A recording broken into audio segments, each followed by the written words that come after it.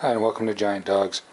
One of the things I wanted to do is, uh, you know, I talk about some benefits and some drawbacks of these dogs, and uh, I want to talk about some of the differences between this dog, who is Tibetan Mastiff, and this dog, who is a Newfoundland. Now, they definitely have different different personality types, that's for sure. And uh, give foot five. Good girl. Good girl. But uh, one of the things is that the Tibetans tend to be a cleaner dog. Now, I know it sounds kind of weird, but when you smell this dog, she doesn't have the big dog stink. Um, it's just not there. Uh, and the funny thing about these dogs is she can go out and roll around in the mud, and in about two hours she'll look just like she does now.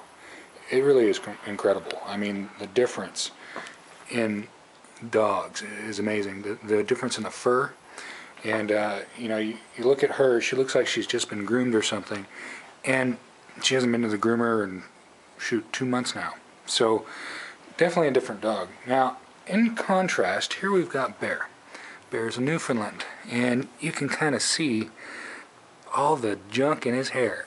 And it has not been that long since he's been brushed.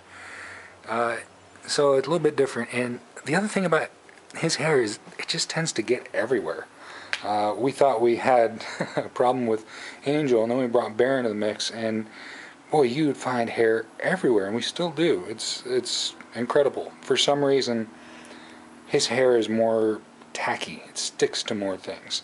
So, anyway, that's just kind of a difference I noticed between you know a Tibetan and a Newfoundland. I mean, how many people can compare these dogs, right?